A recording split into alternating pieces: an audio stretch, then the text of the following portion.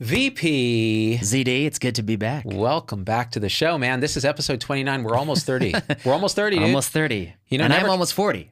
I'm almost 40. Oh, that's Yeah, right. I'm 39, yeah. You're 39. I'm 49. 49. So we've got 29, 39, 49. Right. This is a sacred geometry. and uh, for people who don't know, we're two doctors uh, talking about the medical news that matters. it's a medical news show. It's a medical news show. primarily news based. Primarily. That's right.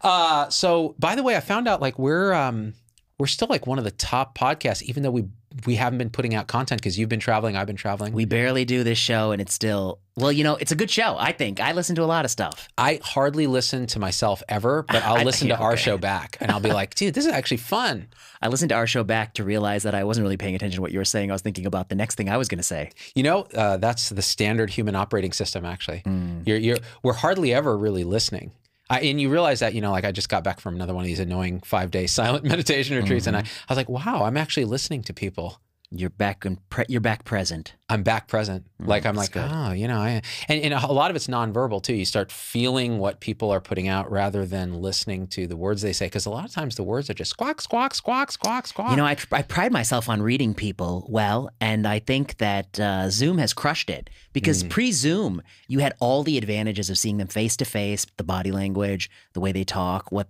they might really be, you know, getting at or meaning. Um, but in the world of Zoom and virtual, it's very difficult.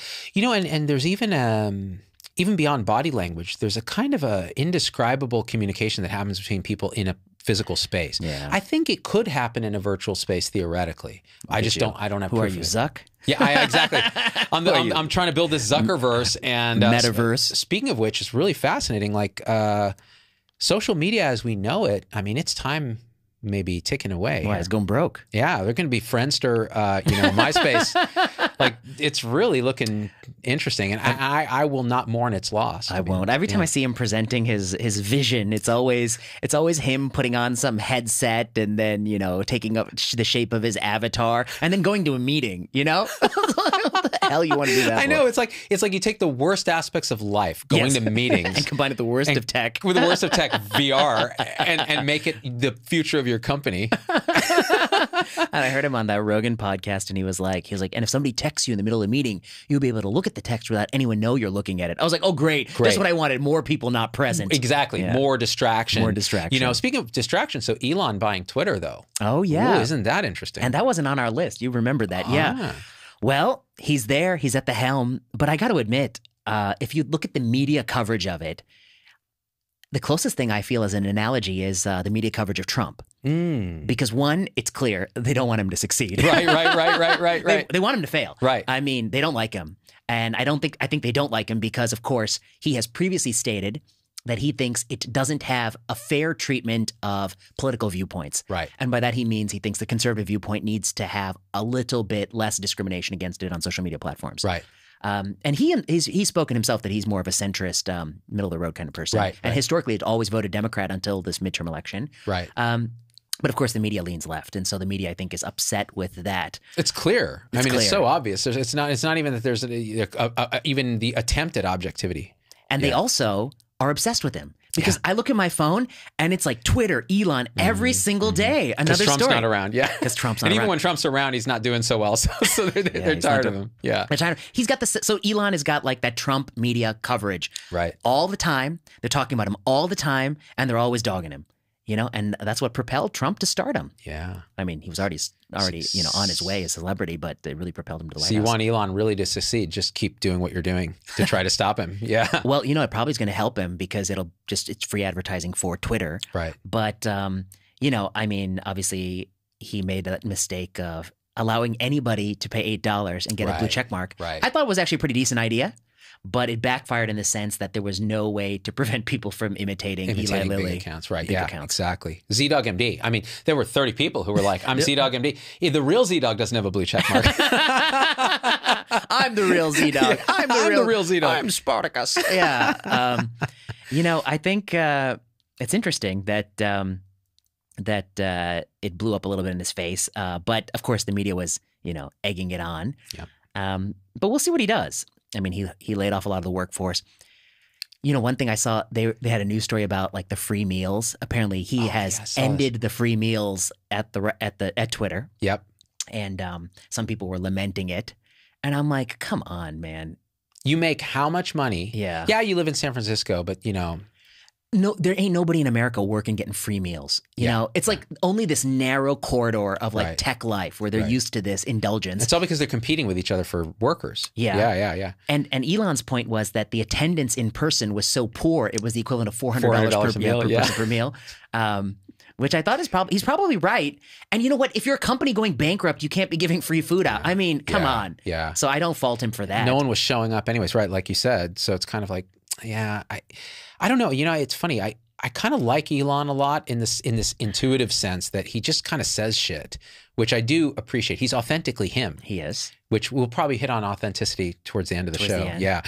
Um, and you may not agree with everything he's doing, and sometimes he does things and you're like, that's probably not a great idea. Um, But but I do think there's one tension. yeah. Okay. And I was just saying this the other day, and I didn't tell you about this before. Mm. Look, I think there's two roles in life. You can be the CEO, or you can be the uh, uh, the the news that you can be the uh, night show anchor. Mm. By that I mean, you know, who has a lot of freedom? The Dave Chappelles of the world, the Bill Maher's of the world. You know, they're a television personality. And to be honest, you and I have a lot of freedom. We have the freedom to say what we actually think. Right. But if you're corporate, if you're the CEO of a major SEC, pharmaceutical firm, Right.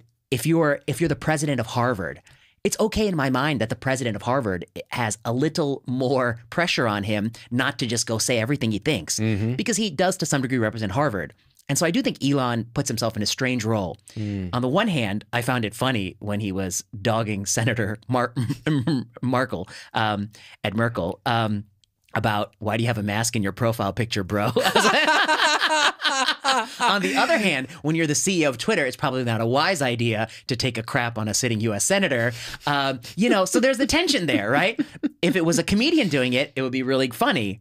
But if it is the CEO of a major company, I think it's difficult. You're conflicted on all those levels. Yeah. And what's interesting is that points right back to when he was on Rogan and he smoked weed. yeah, yeah. So- and, the, and the stock took a dip, right? The stock took a dip, so that's one thing. The second thing is NASA has these rules because he's in SpaceX. That's right. That And you can't, you have to be drug tested or whatever. I forget what it was, but it, what he did was a no no. And so that became a big thing. So it's kind of like, boy, I would hate to be Elon actually and have my fingers in all those places where you can't be you. He does it anyways. Yes, I guess because his wealth is so tremendous. So tremendous that he can just power his way through. You know, but the marijuana thing, I mean, NASA needs to pull a stick out from their Yeah, ass. You know, obviously, come on. This, these on, federal marijuana rules are ridiculous anyway. I Um, mean- and Biden thankfully has released all those. Yeah, all those uh, all Marijuana those uh, marijuana convictions. Yeah, I, I- yeah. I think people are starting to grow up about these things. You know, there's a the, it's actually a more libertarian approach on Of course. drug policy, which I think is great. Which Uh, always makes sense. To it always me makes sense, for yeah. twenty years. But yeah, back to Elon. Okay, yeah, every there's in this town there's so many billionaires in their big houses around here. yeah. Tell me about it. Yeah. Okay. Um, there's so many in this town, in this area. I think he might be one of the few ones who made his fortune by actually building something you can touch, like you can Yeah, really yeah. hold. Yeah, So, as much as people criticize him, I think you got to give him mad props. He didn't make his fortune by stealing the attention of 13 year olds. yeah, You know, he didn't make his fortune by making some bullshit, you know, app or, you know, something like that, some digital cloud, babe, blah, blah, you know, all these things. I don't even know what the fuck they mean. digital health app. Yeah, Yeah. right. Whatever that Which means. we're gonna talk Which we're going to about. talk about your Yeah, yeah. ridiculous digital health app. Uh, he made his fortune by building a car. And you know what? People can say whatever they want. I saw people saying like, "Oh, I'm never going to drive a Tesla." Blah, blah blah. Have you been in a Tesla? It's a it's much better than a regular car. I mean, the acceleration is tremendous. The way the seats are awesome. The visual display is great. I mean, it's a great it's a great ride. And I say that as somebody who's not really that big a fan of electric. I mean, Right. you know, I like a good gas guzzling car. I don't have Yeah. a problem with it. But Yeah. um, you know, it's a really it's a really great product. Um, and I drove one. and Somebody somebody I know had owned one, and he was like, it was a plaid edition, and he said, Oh, "Did those are this?" fast. Oh No, my god! Oh, this guy was like, just he's like, just just just floor it, just floor it, and see what happens. dude, you will lose your I- oh- appendix. oh, yeah. my god! I was like, this is like it was like faster than an airplane taking off. I mean, it was like a rocket ship, and I was like, oh my god! And it just doesn't stop accelerating at that pace. It accelerates like that to 130 miles an hour. Wow. So it's just nothing but acceleration. 1.3 G's. Uh, It was unbelievable, and I was like, this is crazy. Um, so anyway, so he made a real product. He obviously has you know some skills and some talents. Um, and people are like, oh, he's working people around the clock. And, you know, I mean, he's under a lot of pressure. He has a billion dollars in debt payments he's got to make every year. And maybe it's okay sometimes that you work a little bit hard if you're really trying to do something great in this world. Yeah, the, the, the complaint that he's working people hard uh, feels insane to me. That's what you do. Well, that's what we did. Yeah, that's what we did. And when Yeah. it was when you're building something that you care about. If you don't care about it and you're quiet quitting and you're sitting there at Twitter, then get the fuck out. Oh, Yeah. sorry. I, I we, we both swore already. yeah, I got okay. a couple emails saying the the only reason that I'm concerned about your swearing is that I listen eh, with my kids in the car because it's my chance to listen because I'm shuttling my kids around, That's and then they they, they yell at me for being a hypocrite. And so I'm going to tell the kids right now that are listening, mommy and daddy aren't a hypocrite. It's just Vinay and Uncle Z are bad, bad men. so natural. um, okay, you're right. We we got to clean it up for these people. A little bit, a little bit, not little too bit, much. not too Otherwise, much. it's inauthentic. But I was going to say, you know, about, Yeah. about this net worth thing. You're saying everyone's worth a billion. So I made the mistake of opening Twitter the other day just to see what, what Elon's Twitter looks like, and uh, someone had tagged me in something and was complaining about me, saying they used to be a supporter of mine until they found out What do they find that out? my net worth yeah, what is, is thirty million? Is that true? I find do- that hard to believe. do I look okay? No, you don't You look find like- it hard to believe because I'm- it's insane. you don't look so like you're worth I, I was like, million. where did they come up with this? So I Google ZDoggMD Yeah. net worth, and there's some site that's like uh, Z- ZDoggMD, aka Dr. Zubin Damania's net worth is thirty million dollars, and I'm like, you know, I don't even know what my actual net worth is. I know it's vastly less than that, Yeah. but how could they know? And then you start to wonder, ooh, how do you know the net worth of anybody? Oh, it's a good question. Right? Well, I don't have the full answer, but I looked into it a little bit. Ah, Okay. So my understanding is for like Forbes 500 and these sorts of things right. that um, people whose primary assets are stock ownership, Hmm. their net worth is more estimatable. It's right. m- Because you can say there's this many shares and it's worth this much. Yeah. So Elon, Jeff Bezos, Zuckerberg, Zuckerberg, yeah. okay, and Gates, Mhm. people like that. Mhm. But we're talking about people whose families have had wealth for a thousand years, European families. Oh, you You're talking about the Netherlands, you're talking about England, you're talking about Spain, you're talking about Italy. You have no idea the net worth. Yeah. And, you know, Panama Papers was a glimpse into it, um, but we still have no idea of the fortunes. So people whose wealth comes from long ago or comes from nations that, you know, uh, aren't very report, you know, don't track these things well, or whose, whose wealth comes from things besides stock. Uh, very hard to estimate. Mm. And so, you know, for you, I think you're probably unestimatable. Unestimatable. Yeah. And that's not, doesn't mean you have a big number. yeah, too. By unestimatable, I mean, I mean, if there's an asymptote of zero, I might approach it eventually. But yeah, no, I mean, it, it is interesting because uh, that creates a kind of reactance in the audience too. It's like, especially if they're supporting you, like they're doing a supporter thing, they're paying five bucks a month to be part of the thing. They're like, well, why am I giving this 30 million, 30x millionaire money? And it's like, well, because I'm not a 30x millionaire. And also because it's not just about giving me money, it's about supporting something you care about. that's what I, so that's what I, I mean, like, Content you care about that isn't social media ad driven. that's why Sure. I subscribe to things that I subscribe to. Right, me too. It's because like I you have to if you don't support the things you like, they're going to go away. They're gonna go away. yeah. And then what are you left with? You're left with all those Trash. trash programs that you are not watching or listening to. Right. And I always find it astonishing that um you know, sometimes I check myself. I notice that I've listened to a ton of podcasts from this one group or one person over the last six months, and I'm like, I got to give something Give to them yeah. because otherwise they're going to go away. Yeah. There ain't nobody listens to boring podcasts except no, but I got in, you know I got into it. Um, that's a good point, but Yeah. you know, I think that um, when people disagree with you, they're quick to rationalize reasons, including fabricating reasons. Right. I've read many things fabricated about us throughout the pandemic. Oh, there's quite a few. Vinay Prasad doesn't work in clinic. I was like, well, I'm there every week. Uh, you know, it doesn't attend on service, doesn't do this, doesn't do that. Not a real epidemiologist. Well, he happens to be in the Department of Epidemiology and a professor of epidemiology. Oh, but not a real one. You know, and, and all they're really just saying is, I don't, agree. I don't agree. you know, Which how about then let's argue civilly about what you don't agree about. That's what you're supposed to do. Yeah, and I think that that's challenging for many people because you know, I saw somebody say that like, you know, oh, this was this is another knock which was like um you you act like you know everything about about vaccines and masking. I was like, "No, I I spent a great deal of time reading the literature, which is more than I'm sure you've done because, you know, okay, By what how you're talking. by how you're talking, you know. And then I'm like, and having read it, I feel very confident in the things I'm saying. And so, if you want somebody to not speak confidently, then you're gonna have to go look elsewhere because when I talk, I'm gonna speak confidently, and when I'm not talking, the things I'm not talking about are the things I don't know anything about. That's why I'm not talking about those things. yeah. Yeah. Actually, that's a good segue into the misinformation police piece you wrote on Sensible Oh, Medicine, man. Because I read that. It shows up. See, this is how I know that you've You read it in the original English or the German translation? I, I read it in the Latin, which I translated. Uh, Pig Latin. Yeah, it was translated into German. Yeah, that was crazy. So we wrote a sensible medicine piece, and the next thing I know, I see somebody forwarded me. It's been translated into German. It's that good. Because see, It's das gut. German German is like the it's like high elvish. Like if you get translated into that, like you're you've you've reached the apex. I mean, and just think about that person out there in Germany who is in Germany, fluent in German, but doesn't know any English, right? and that's the audience I'm getting to. Yeah, dude. Gun- comedy. yeah, Gunter, Gunter. On, on the on the banks of the Rhine. He's sitting there sipping his Gewürztraminer, and he's like, He's "Yeah, like, he's like, if only. if only this, is in in the, the mother tongue." Ich habe keine Zeit to translate this. If only. Oh, oh. Yeah, I can imagine. das das Medicine sensible sensible. Um, I, I hear I hear that little Italian in that. I'm not sure that's. The, I, my, I don't speak any German. My so. I don't speak a word of it. My accents are terrible. Um, as my children will tell you, my, my kids have amazing accents. They are on In- in point. all- no. everything, anything you throw at them, if they watch it enough on YouTube, they can come back and do it yeah, perfectly. we didn't have YouTube growing exactly. up. Okay, Okay. I had to pretend that Count Chocula was German. we had we had the li- we had the card catalog. Z, if you wanted to Oh. learn a fact, we had the card catalog. Dewey Decimal for life, dude. You're just like flipping through that. you had your like favorites. Two forty two point. Two forty two point two is the science fiction aisle. you had your favorites. Yeah. Wait, so what were we talking so about? we were talking about um, oh, sensible medicine. Oh, yes. sensible medicine. Yeah, misinformation, police. So, you know, what was the thesis of the article? The thesis is that uh, we've always had an arena in science where people debate. You know, you think this, I think this, we think this. You know, we, all, we can argue all the time. That's fine.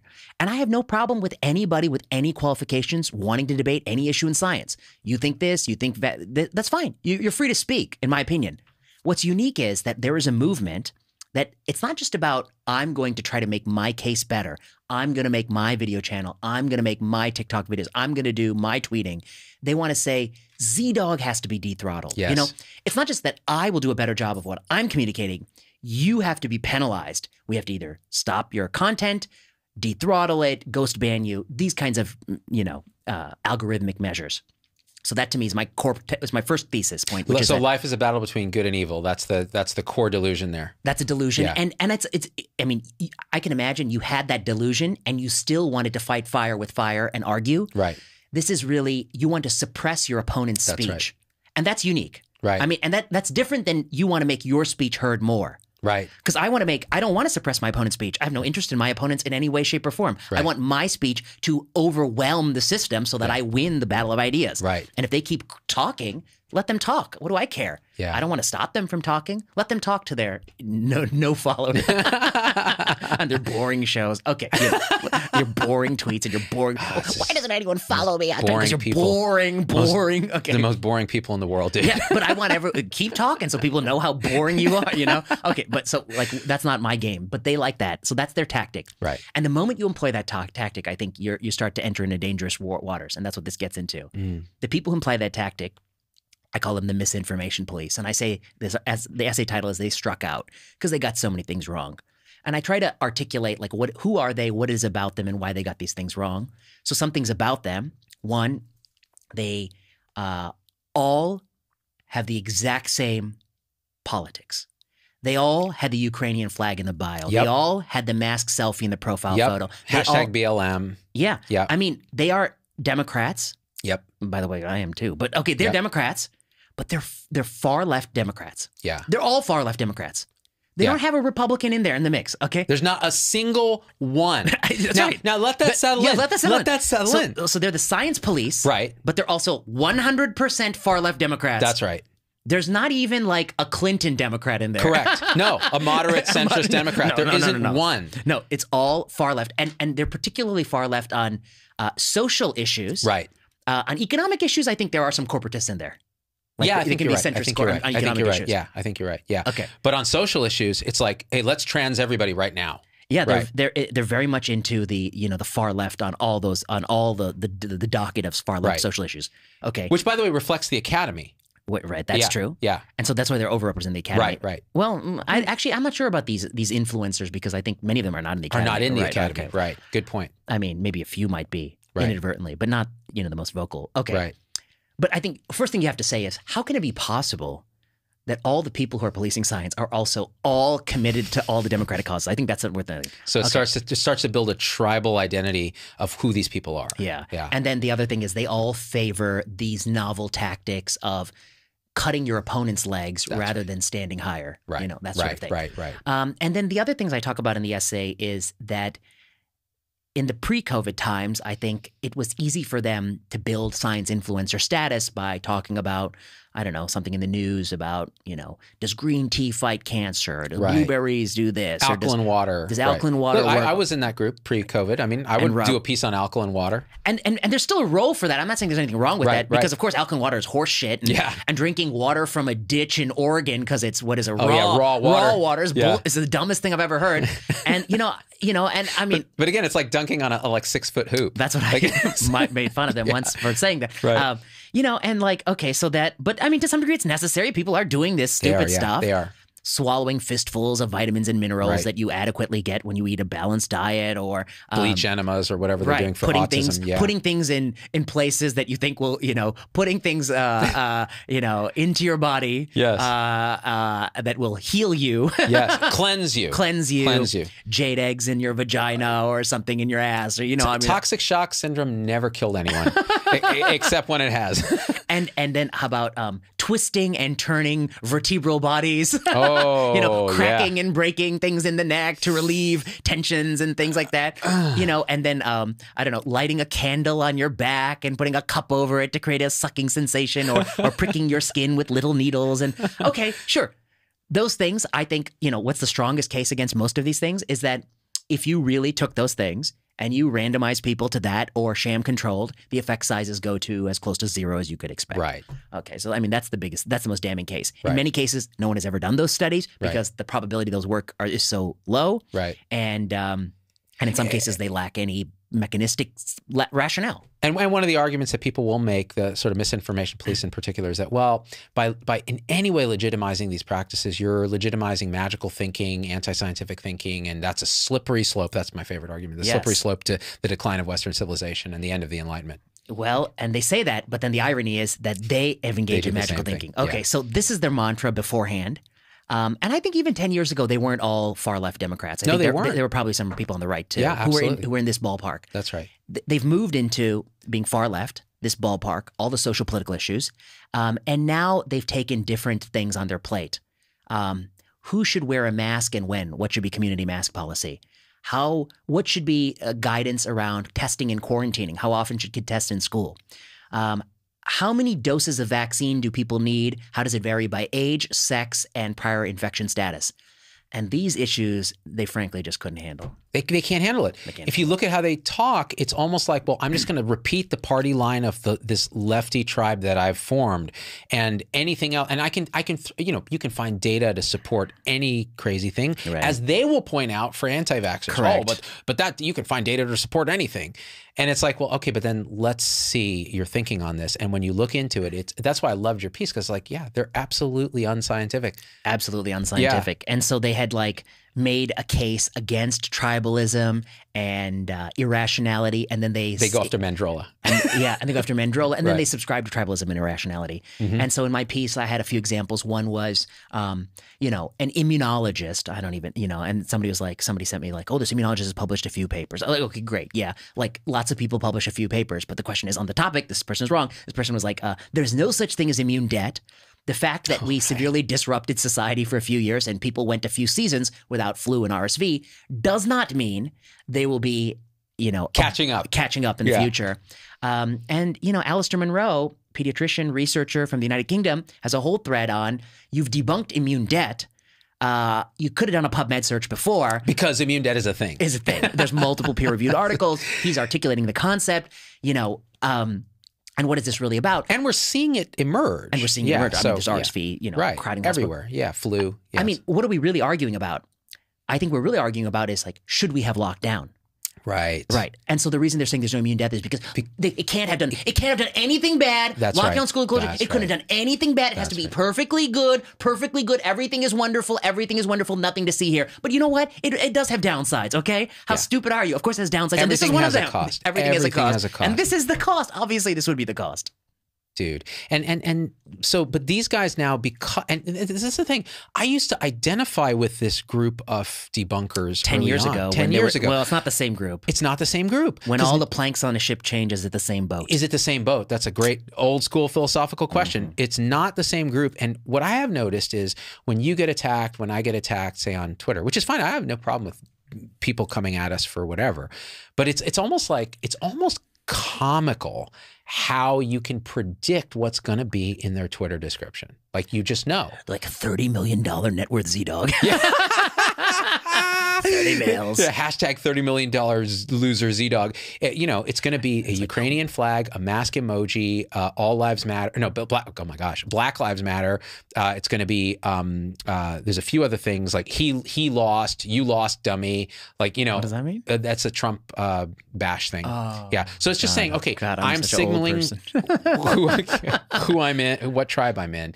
And you can just, you can predict it like clockwork almost. Yeah. Um, and that shouldn't be possible. That shouldn't be it shouldn't possible. be possible. It's from first, first principles that, and they'll say, well, no, it's just because all smart people are leftists.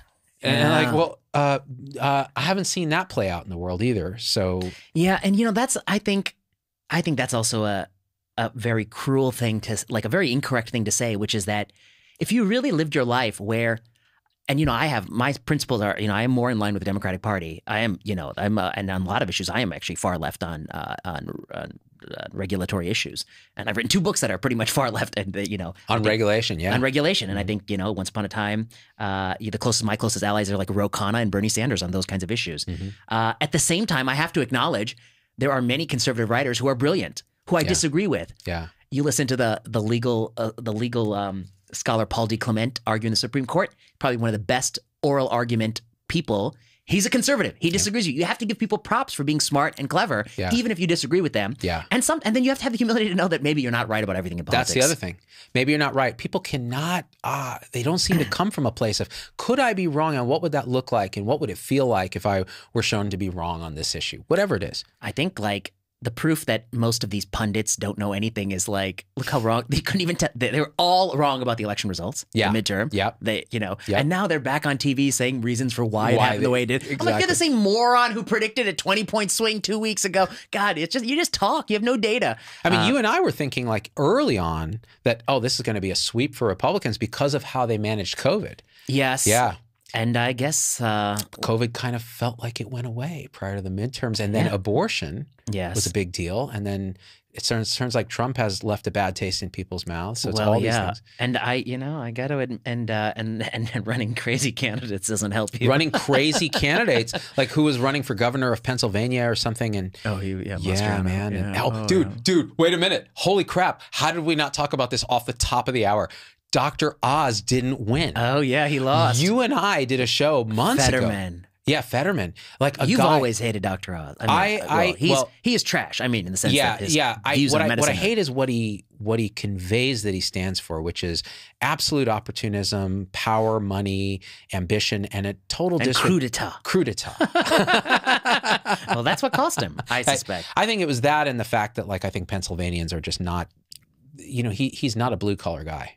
He doesn't even live in Pennsylvania. No, he's a carpetbagger. He's a like from New. Jersey, and uh, he's no more Pennsylvanian than I am. And and what was nice to see is that the voters they were actually willing to take a candidate who just didn't really look that good, I Fetterman, didn't look that over. good. I mean that you know that's a mess too, in the sense that I'm not talking about a stroke and all that. It's just like, dude, the guy like lives with his parents, has a goatee, wears a hoodie, and you know But you know, to. I think that was his appeal. Oh, I in think, Pennsylvania, sure, yeah. and like I don't know, and even when I Heck, watched, that would fly in Cali.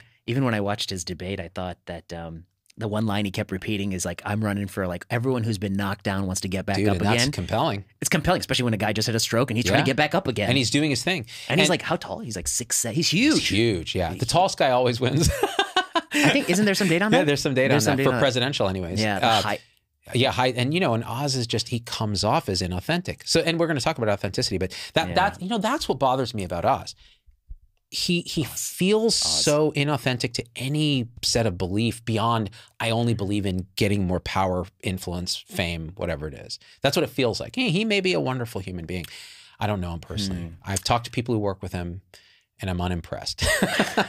I mean, I guess I think the reason why so many in the medical community were rubbed the wrong way by him is that he promoted a lot of, yeah, garbage of stuff. that foolish stuff that we were debunk that people were The- debunking yeah, 10 years exactly. Get back to the the misinformation. please. misinformation Yeah, thing. I mean, yeah. he was on the wrong side of a lot of those issues. yeah, for, for Um, real.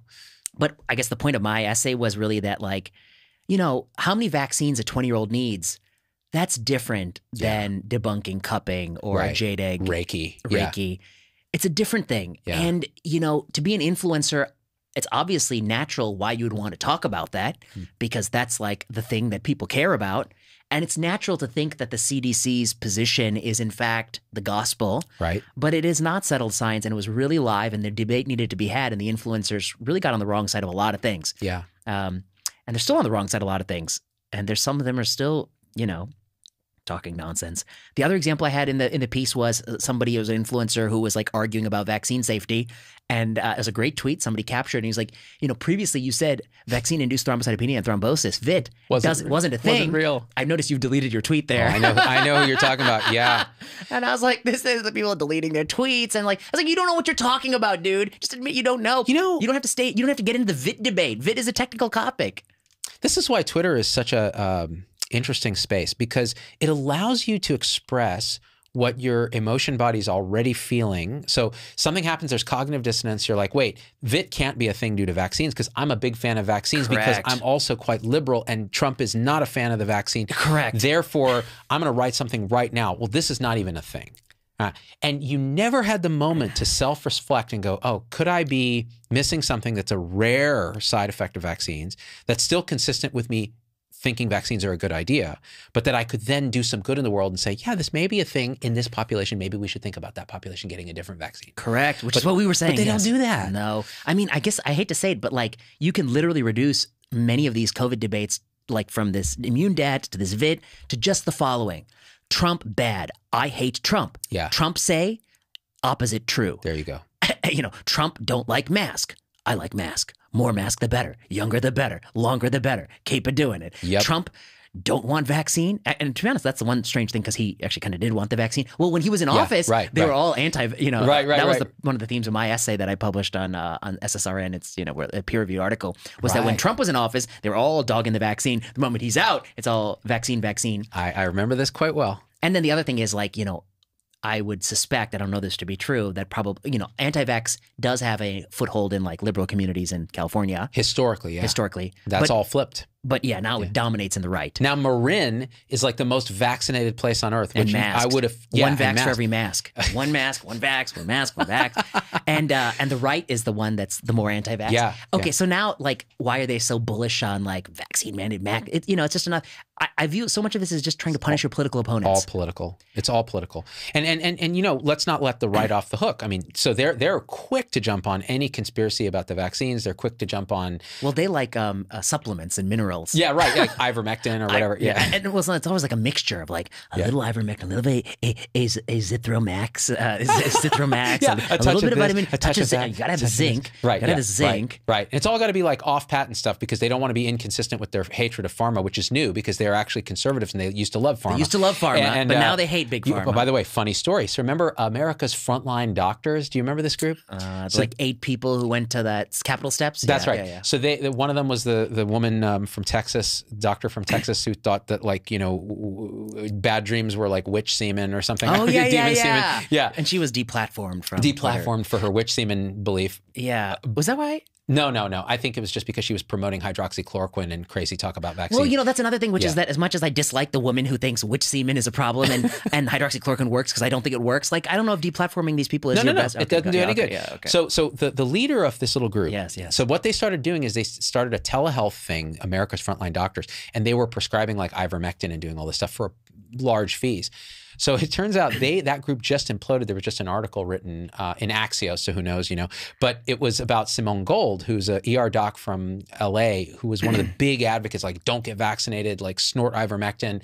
America's frontline docs, very conservative. She was she was actually arrested for and convicted for her role in the January 6th. Oh yeah, she went to the she went to God. jail. But she comes out, and it turns out she was potentially in, the group collapsed because she was embezzling the money that they were making and bought herself a 3.6 million dollar house. Oh really? this is all alleged. Alleged. This yeah. is a news show, Vinay. Okay, we have to use the word alleged. alleged. Yeah. Um, but dude, I mean, surprise. So on the right, they're batshit crazy. On the left, they're batshit crazy. Why? They're all politicized. They can't see clearly. yeah. And social media has kind of made it worse. You're right. So that's what I think. And you're right. And and and uh, it spills over into COVID. Yep. And if you're really so political, you're not a scientist, in my opinion. Yeah. So this brings me to the New England Journal article. Yes. New England Journal has, um, you know, the, the definitive es- the article that proves masking kids works. Tell me about this. I know nothing about it. I've been off the grid. Uh, there's like 70 school districts in Massachusetts, and they have like week by week um, uh, uh, case rates in kids and and, uh, and adults in the schools, and then they divide schools into like three groups. There was like two schools that never stopped mask mandates. They happened to be urban, inner city, predominantly Hispanic and Black schools, Mm. and then there were all the white kids in the suburbs who got to take the mask off at different time points.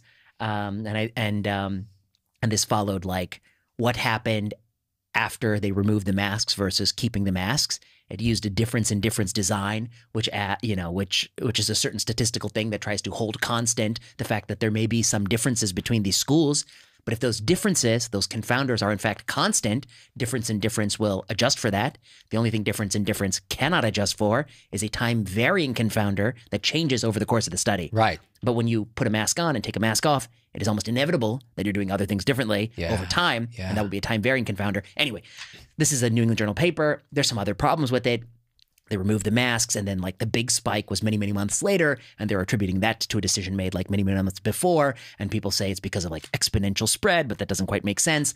Uh, th- there are a lot of structural problems. For people very interested in the technical issues of this paper, they should read Tracy Beth Hoeg's Sensible Medicine post about you know why she was upset that it was published. It was about this week, um, but there's a number of issues from you know how are they counting? You know, are, are we testing people the same way? What about vaccination? What about prior immunity? What does that mean for case counts? Um, and the fact that ultimately the sample size is just these two random schools were the ones that really didn't remove mask mandates. Um, okay, the authors are technically proficient at difference in difference analysis, so they're doing a lot of things to try to bolster their case. But ultimately, we're left with this is an observational study. Right. Even when it's done perfectly, it has very poor agreement with randomized control trials. Um, FDA tried to validate observational studies and randomized trials this year. They gave the Harvard group, a different Harvard group, a lot of money to do it, and they were unable to get the two to agree. Yeah. You know, So in other words, the gold standard randomized control trial does not agree with observational trials in most cases. in most cases, even Yeah. when those observational studies are done by really a well expert done. team, right? Really well done. Yeah. And so until you clear that hurdle, we should always take observational studies with a grain of salt, even Right. if they purport to be causal as this is. right. But here's what gets me about it. All of the authors on this paper and the editorialist have previously said hashtag mask those kids the whole pandemic. Oh, so they're all like in the tribe of. The one of the authors of the paper had started a change.org petition to mask kids. So, so how can you possibly trust any science, especially an observational trial done by people who have already made the conclusion? Yes, I They, not only have they made the conclusion, they've publicly stated and put their reputation on that. They have a petition. they have a petition. They're on Twitter. This is effing crazy. It's so crazy. I don't know what to say. I'm like, are we are we playing games here? Like, we all understand that there is analytic flexibility. That if you looked at the data and I looked at the data and we sliced and diced it, we get to pick which state we're going to look at, which time period we're going to look at, what year we're going to look at, masking rules. There's also disputes about like, did these districts actually stop masking when you say they masked? Did they mm. actually stop masking before? These things are all being like, fr- there's so much flexibility here. And the people doing the analysis have been vocal adhere, uh, vocal proponents that they think this is good and we ought to do this. You really trust this this? makes no sense at all. And li- listen, I think both you and I could say it's fully possible that masking kids could work. Possible. Right? It's fully possible. well, but I have some reasons why. Okay, go You have reason why it may Okay, not. no, no, no. Well, but but we're saying if this if we had a random a good cluster, randomized yes, trial, That's what I've always said. yeah, that showed a real difference. I would believe it. I'd believe it, and I would say, you know what? These things work for the next pandemic. We should mask kids. And you know what would happen if you did a cluster randomized trial? The two places that were asked to mask would probably not be the two schools in the inner city with black and Hispanic students. and in fact, the authors in their discussion, you know, they have a whole section on how this masks will heal structural racism. Oh Lord. They're playing that card. Okay, so this is just And you know why they're playing that card? Let's be honest. It, it goes back to that misinformation Yeah. because they know all the people who have the the BLM Ukraine flag, anti-racism. anti-race, you know, that group of people who is the misinformation police. Now we play the masking is also structural racism. It's it's it's this Venn diagram. This is crazy. It's it's like a cult. Uh, they're they're creating they're creating this um, tribe within medicine Yeah. that will be the arbiter of truth using low level methodology, Yeah. incredibly inconclusive, Yeah. and using brute force power as a platform to extinguish ideas they disagree with. Very dangerous. And, and you know what I think is interesting too, and this is just an intuition. I don't know if I have data on this. This is a tiny sliver of the population Oh, so that feels this way, So but they have such a voice in the culture, So, on yeah, so social media, in academics. And that's the difference between Simone Gold and the crazies on the right, and then the crazy here. ah, tell me about this. the difference is the Simone Gold. I don't see she's not a university professor, is she? No, she's just a chump. She's not publishing in New England Journal of Medicine, is she? correct. she? Right. This is New England Journal of Medicine. Yeah, And New England Journal of Medicine and Nature and Science, they have to stand for science. They can't, you know, the science editor had that whole uh, essay about Joe Ladapo. yeah, right. bad. Same thing.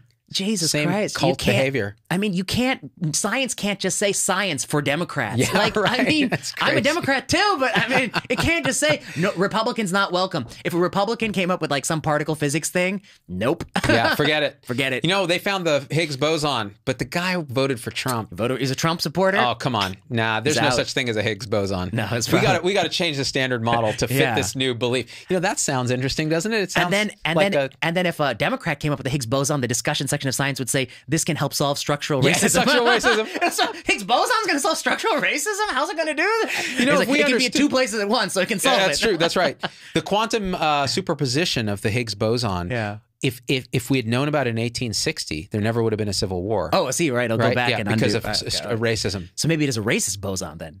if it would have prevented the Civil War, Yeah, which what- is a good so- necessary war. Oh my God! So each boson could have a spin, like a flavor. One is a left spin, One's right left spin and right spin. It's the left spins are okay, and we want to filter for those and let the right spins go off into the the racist netherworld. yeah, jeez, man, that's what I mean. That it sounds like we're being silly, but that's what it is. It's like this kind of absurd anti-scientific thinking. It's absurd overlap of politics and anti-science. But back to this masking thing. Okay. Yes. Um, look, if you had done a cluster randomized trial in 2020 or 2021 and you had a very modest effect size of masking kids, I would have agre- I would have believed it. Yeah. Uh, whether or not that ought to be policy, Oh, that's another question. because then you have to consider the The trade-offs, trade-off, the downsides. language development. Okay. Yeah. But we're talking 2020, 2021. I think there would be a huge premium placed on slowing transmission. Right. Now you start talking later 2021, every Mm-hmm. adult who wants to can be vaccinated, older people can protect themselves. It's inevitable that all the kids are going to get COVID anyway. You start to see breakthroughs Yeah. by, by Provincetown at minimum. And even before that, we had data from Israel, et cetera. Um, then I think the question is, what are you doing it for? Yeah. Right. So now, latter half 2021, 2022, now there's a different question. Even if it slowed spread, what would be the point? Yeah. 90% of kids have had COVID anyway. Yep. And we got to live life. And okay, so that's the second argument. Um, uh, but they didn't do the study Right. and they still want to mask the kids. That's Ontario right. province and Toronto. Oh, no, Crazy. the province of Ontario. These Be, Canadians. be careful, man. You'll Oh, get God. you get a Canadian mob I got a lot of email. with pitchforks, eh? They're like, I was driving in the car with my my kids, eh? And you were swearing, eh? And you called it Ontario province. Oh, blame Canada, blame Canada. South Park? Dun-dun-dun-dun-dun-dun. Yep, Um, South Park. Um, I do blame Canada for many things, like being awesome, being our best 51st state, Curling. curling. Tim Hortons. Oh yes, But Tim Hortons is good. poutine.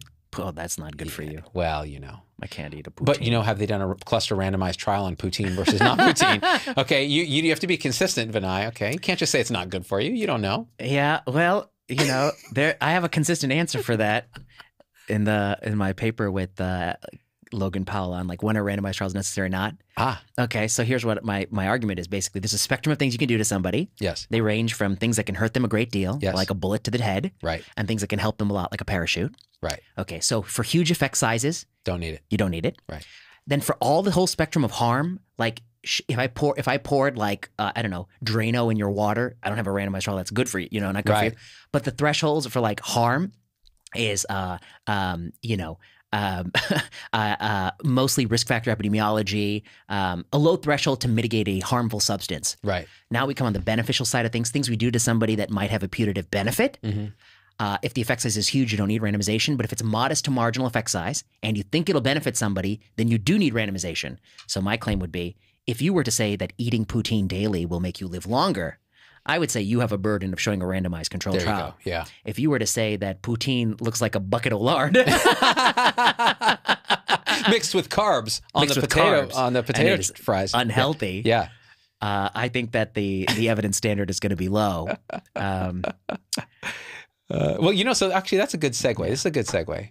Um, by the way, that that that piece on misinformation police, I thought was one of your finest pieces in sensible medicine of many finest piece, pieces because no one talks about those guys. No one talks. They get carte it. blanche to be the voice of science, and they're not. No, they're not. They're and, not. And uh, I also mentioned the Mandrola thing. They were so raw. They they took a you know a crap on John Mandrola, and uh, and he was 100 percent vindicated. He was that, totally right. That paper was published, and Yep. and the CDC later changed their estimate to agree with the Mandrola estimate. Let that sink in. Yeah. He was deplatformed. Like people wanted to shut him off, cut, cut his legs off for even daring to suggest that myocarditis might have a certain frequency.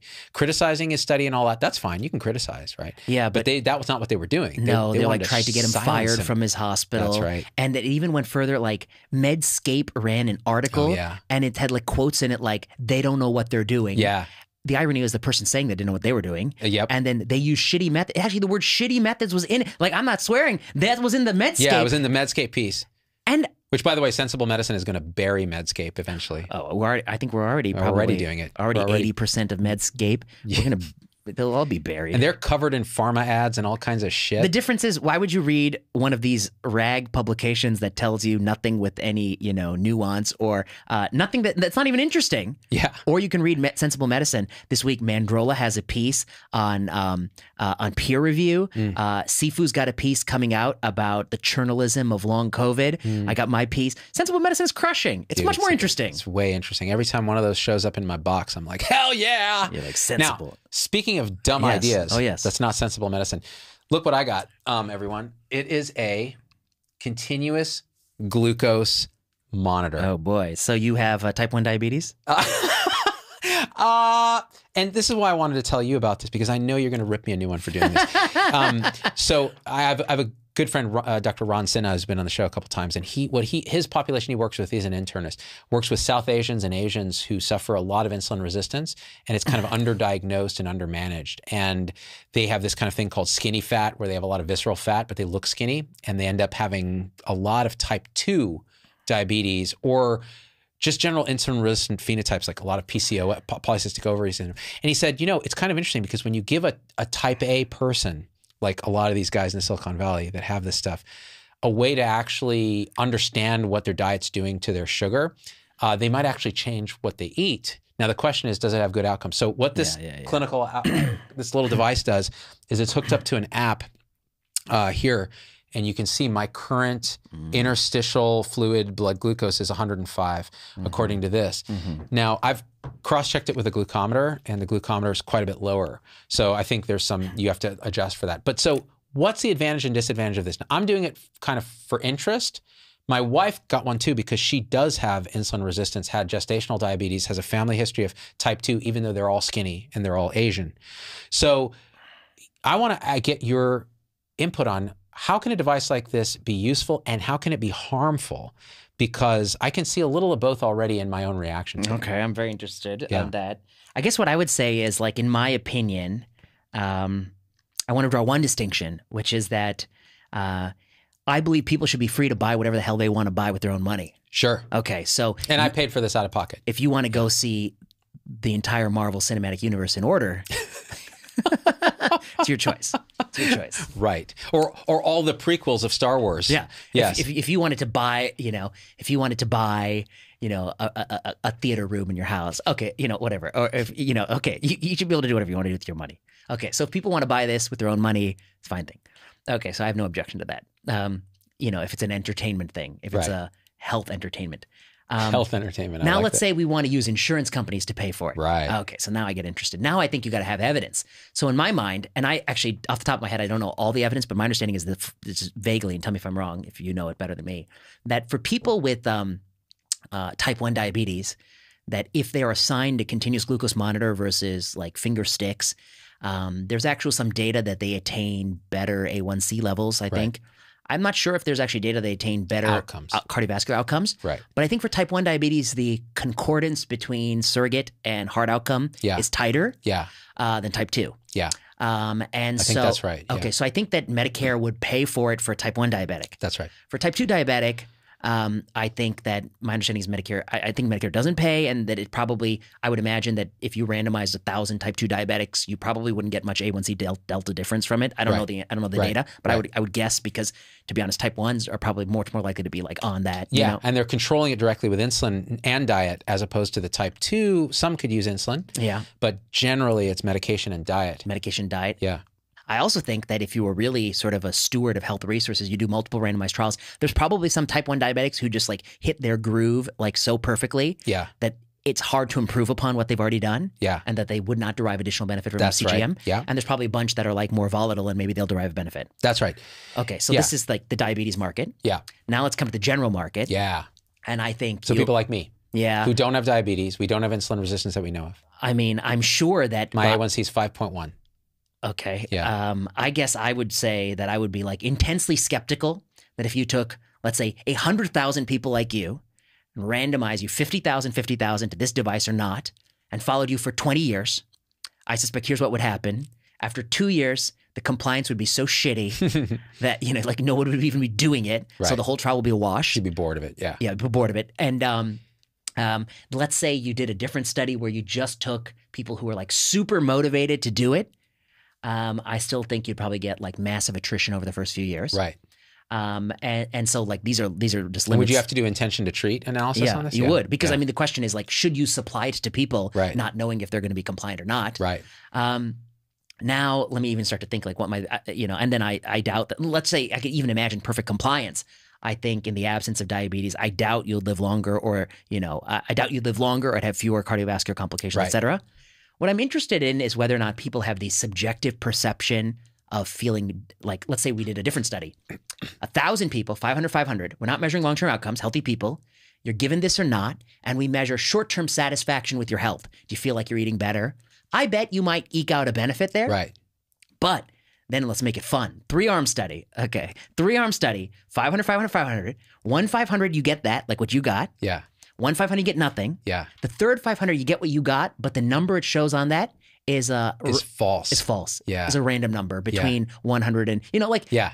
it, it has some day to day variability, Yeah. but it's more of a random Oh, number. that's a great trial. then I bet you will be equally satisfied from this Both and treat- random number. Both fake treatment group and Yes, real treatment yes. group over placebo. Okay. These are my speculations. I think that's not unreasonable. Now, and, and, and I think the reason I'm doing it is I'm curious, Okay. uh, yeah, and we're going to do a show Uh, about yes, it yes, yes. in high risk people. But like, if you think about, so let's think about my wife. So this is what we've learned already about her is that she has, and her A1C is a little higher, and so she's pre-diabetic, and again, skinny as a rail, um, genetics, and Asian. And we're, we're seeing that. So what we've noticed with her uh, sugars, and it's a little competition now. So we'll eat dinner and we'll see what each of our sugars does. Same meal, her sugar will rise much faster, more quickly. And what she same found, same portion, same order in which you're putting the food in your mouth. ah, that's a good question. You- you've- 'Cause I shovel food into my craw, and it's still. I mean, I'm just like, and my wife is like eating like like a bird. Her sugar goes foop, and mine just barely budges. Okay. a couple hours later, But And- but uh, you tell me all this, but she's gonna be alive 20 years after you. that's exactly that's exactly right. she's gonna be alive. It's long exactly right because she has female status, she has Asian status, and I have me status, which is like, you know I'm just a caveman. I'm going to die of like a I'm gonna massive aneurysm you right after here. Totally, you're gonna go you go fish in a you do- you do a unnecessary PTCA on me. yeah, right. Um, yeah. and and so I don't know that there's outcome difference. But what is interesting. interesting is she learned that oh, you know, the, the the berries we eat every night, like a mix of raspberries, blueberries, and blackberries, maybe you are worth 30 million. Eating these fucking berries all the time. What the fuck, man? dude, I know five bucks a, po- a pack. fuck rich You know, this is one thing. I'll say this. I'll say this as as the one rich guy thing. I'll say rich guy. I spend money on nothing except for equipment in here, which is my supporter money, and food. And by food, I mean like I won't even look at the price of the berries like I used to when I was young. I'm just like I'm buying these fucking berries because it's all that I spend money on. Fucking out of season, out, of season, blackberries They that are flew like, them in from Argentina. It's They're like, each one is drenched in a gallon of fossil fuel. Yeah, totally. But I got to tell you one thing about Rich and, and thing. I was once reading a paper and it was about like colon cancer. If you had a cancer and it got cut out, like your chance of recurrence, and it looked at like nuts, and it turns out like eating nuts is protective. And um and I was like, okay, let me read this. And they're like, well, the first thing they have to teach you is that like uh it's not any nut, it's only tree nuts. And so peanuts are a legume; they're not a tree nut. Mm. And tree nuts are Brazil nuts, cashew nuts, almonds, and uh, hazelnuts. Mm. And then it's like, and you can't just eat it all in like one serving. You have to eat two ounces of tree nuts three times a week. And then you have a reduction in colon cancer recurrence and an even bigger reduction in all cause mortality. And I was like, Jesus Christ. what the hell? Yeah. I was like, you think about the kind of person who's this rich motherfucker Yeah, who's who's snacking on nuts. snacking on tree nuts. Tree and nuts. also, like, you know, I have enough money now I can buy tree nuts, but I don't have the wherewithal That's to right. portion it out right. and eat a little bit every day. I was like, this is just This is why nutrition studies are, yeah, it's are just- total journalism. Okay, yeah. so okay, yeah. So, back to your so, berries. So in now You're imagine your a study where evening. you take a bunch of you take a bunch of people like say my wife who have some risk factors. Yes. And they learn something about their diet that they didn't know, like these berries shoot her sugar up through the roof, which you wouldn't have thought necessarily because blackberries and stuff are supposed to be low glycemic. And so for her, so now she changed, let's say she changes her diet a little, some other vegetables or something, or something different for dessert, and, and her sugars are a little more stable. And over but time, she loses the pleasure of the berry. she loses the pleasure of the berry. So, oh, area under the curve. Does she live longer because she's eating different stuff that's better suited to her, or does she live shorter because she's less happy, more stressed, and less enjoying life? And we don't know the answer unless you did that long term, Yeah. which I- is very hard to do. very hard. And it, Yeah. even to think about it, I mean, I'm intensely skeptical. I would say that this is just an observation I've made, but um, you know, obviously Asian women have the longest life expectancy, Yeah. and uh, they often have the best blood pressure, Yep. and they often okay, and they often like um, uh, you know have low BMI and and good blood pressure. Yep. Uh, yet. Uh, it, it seems that often someone tells me that they have uh, elevated LDL, Right. but they also have elevated HDL, HDL. and their actual cardiovascular risk is in the toilet. Right. And then people are like spending all this mental energy agonizing about HDL. Yeah. And I'm like, your your systolic LDL. blood pressure, you're 90 over Yep. 60, you weigh 108 pounds. Yep. You're gonna and and and everyone in your family's living to 108. Yeah. What are you talking What are you about? doing? What are you, why are you chasing this LDL? Who gives a shit? It's causing stress. On a lot of people. Yeah. Now it's interesting. So Ron's going to come on the show to talk about this. What he finds is this But pot- he's looking at Indian men, I bet. Yes, he is, and Okay. and uh, and Indian women too. And what he's found is they're under a ton of stress. Their cortisol levels are high. They're insulin resistant, partially for a variety of reasons, and some of it's genetic and diet and so on. And he's talked a lot about this because the Indian physiology is one that grew up. You know, you you, you you're basically like doing this thing. You eat like squatting like this, and you're like, okay, buddy. You're eating all nothing but rice. you know, you're just eating the rice, and uh, even this is like I'm burning calories just squatting like this.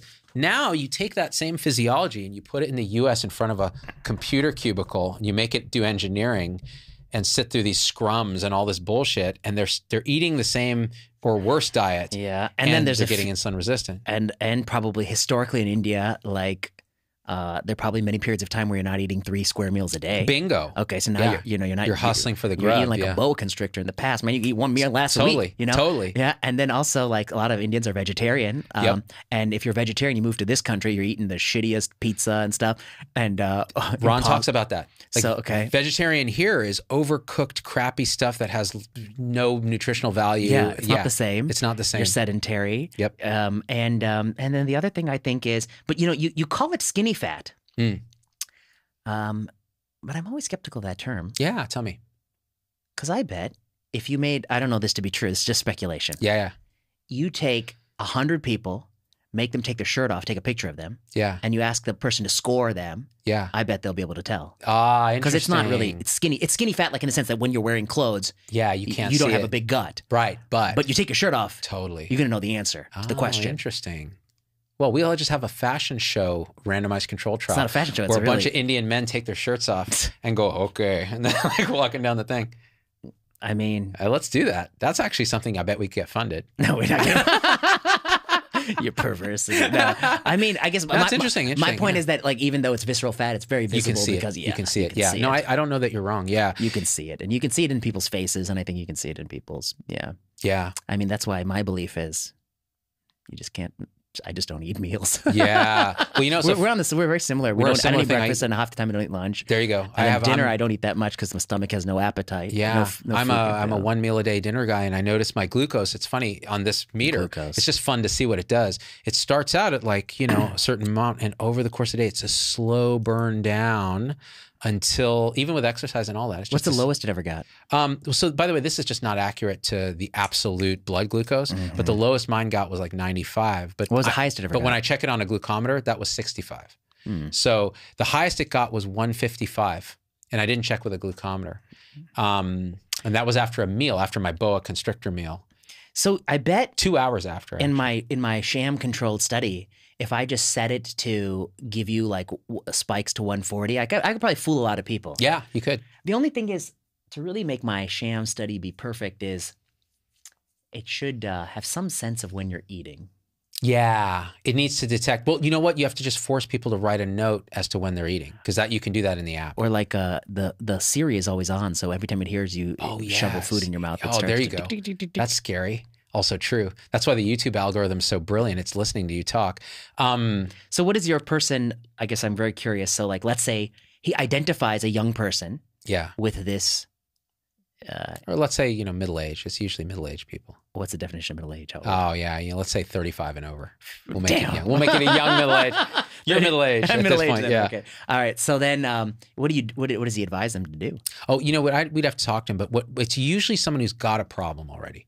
So they they're they're developing high blood pressure. They have an A1C that's rising. They're uh, having you know other issues, and so he'll see that population, and or they've had heart disease, or someone in their family has had heart disease, uh, and they're stressed out. So those are the those are the people that he particularly focuses on. Yeah. Yeah, And high what- metabolic what risk. Teach them how to eat, or what does he teach them? Yeah, so then he does these really cool things. So he'll teach them to journal. He'll teach them to meditate. He'll teach them to eat differently. That for the, that type of insulin resistance, he'll teach them if it's something that makes sense. I think he'll put the glucose monitor on and give them a sense of control. So it it is. It's all mental.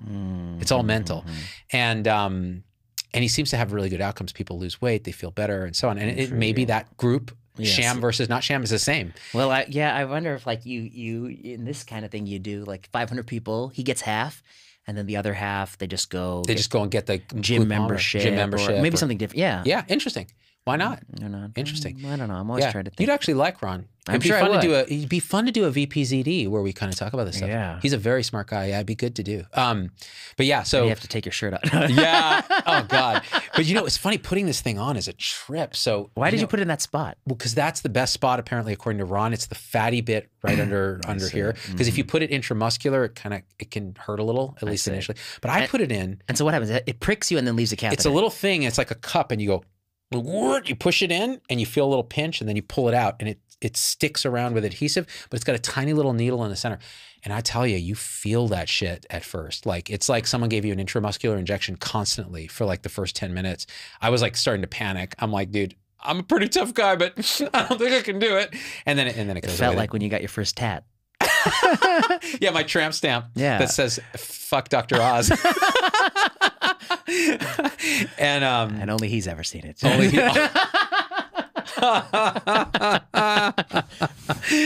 you So- know, you know, I just realized my my 11 year old edits these now, oh dear. and she's gonna watch all this bad language. Now, now there's another reason not to curse. Yeah, you're right. Okay, but you know what? yeah. Forget it, because I, I curse a lot in front of her, and she doesn't curse at all. Neither, So CGM, you're on the CGM bandwagon. Well, no, I'm trying. And do you do do you do the hot cold plunge? Because that's people like you. do. Everybody does that. People like me do that. I don't do that because you know what? I just meditate. And, oh, Did you see New England Jour- no, England New York Times had an article about the benefits of cold plunge, and it was like some people are put off by the price tag.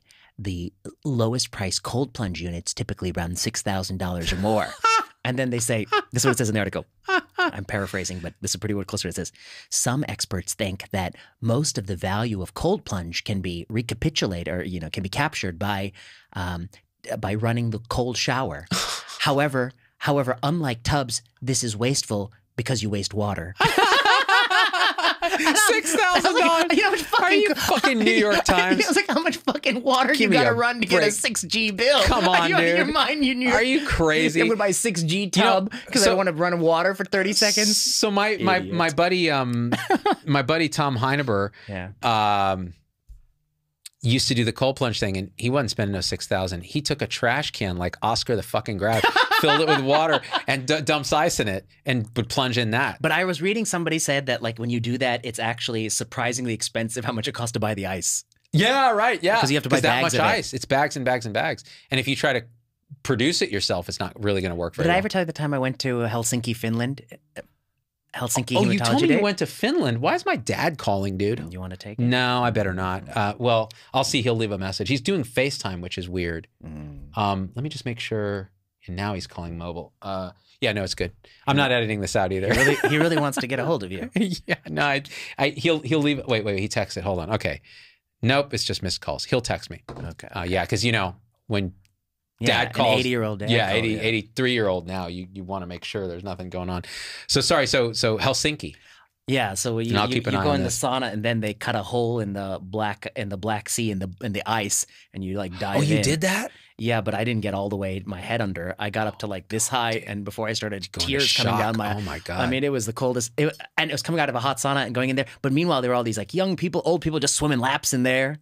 Like they have, uh, and they literally use an auger and cut the ice. Oh my gosh, God, it was cold. dude. That's see. February. I, I well, so I met, had a major health change the last couple weeks because I did this meditation retreat, and it was in North Carolina at a center that was all vegetarian, Hmm, but it was Ayurvedic. oh yeah. So like there wasn't like it was a certain So way just of doing cheese veg- pizzas. there was no cheese. It I'm was sure. almost vegan. yeah. And I was like, I'm gonna die. Like I'm not a vegetable person. Like, and after, you know, I mean, and this food could have bloated a lead pipe.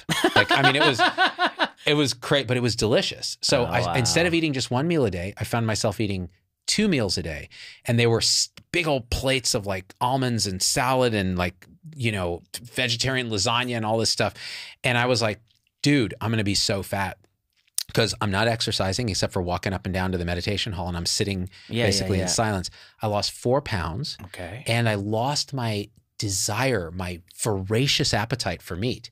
It was almost like going on a low salt diet and losing your taste for salt. Like, I mean, I would demand meat at every meal pr- pretty much. And now I'm Mm-hmm. like, well, I could take it or leave it. It doesn't matter. You know, it's not even an ethical thing. It's just, I just don't care anymore. Isn't that weird? Yeah. And so weight loss, I was like sublimating fat into the void. I don't know what was going on, but um, I don't know. You just find sometimes life just throws you shit and you're like, you know what? I could eat like this. It's cool. It's good that you take time in life to improve yourself, Gr- ground yourself. Because I'm 10 years older than you. I have time to do well, you have thirty million dollars. That's and I'm, a 30 million, I'm a 30 millionaire. what, did- what did what did Peter Thiel say like about Hulk Hogan? He's Yeah, a single he's a digit single millionaire. Digit, he's a single digit millionaire. I mean, this poor guy's a single digit millionaire. Like, how's he getting by? Well, first you, you say you're not a 30 millionaire, but then it's all blackberries, blueberries, blackberries, raspberries yeah, every right, night. Meditation retreats, Meditation. vegan resorts. Yeah. You know, and, and and you know, we were pretty much like any family. Summers in Rangoon. we would make meat helmets. when I was insolent, my father would beat me with reeds. and his mother is named Chloe. Chloe with webbed feet. She was a French prostitute named Chloe with webbed feet.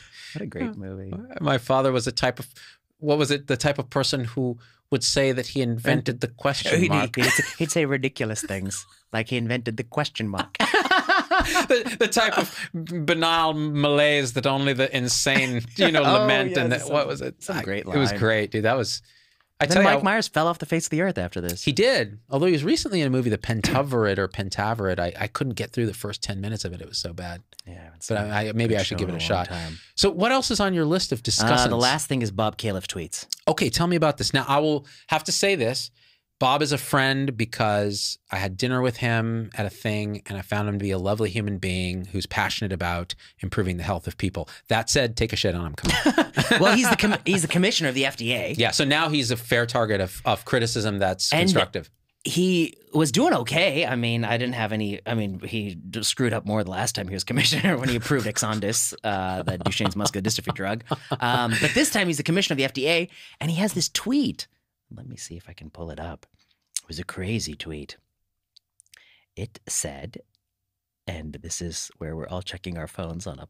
Okay. Preliminary epidemiological findings point to this. dis preliminary epidemiological findings point to the distinct possibility of the bivalent vaccines and antivirals reducing the risk of long COVID. Uh, Ooh, and uh, you just you just can't say that Mm, at the when FDA. you're the, at the FDA. Yeah. So that was what really got me. That's not uh, got me. But you know, again, like he got crushed. Yeah, I mean, the, every official in this administration is like that.